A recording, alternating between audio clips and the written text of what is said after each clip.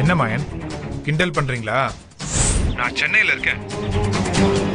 கல்யாணத்தனைக்கு காலையில தான் நான் வருவேன்னு சொன்னது உங்களுக்கு ஞாபகம் இல்லையா? இல்ல உங்களை மதுரையில பார்த்ததா சொன்னாங்களே.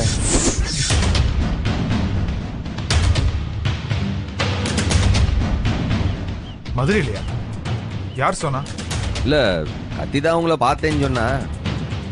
கத்தியா? ஆ.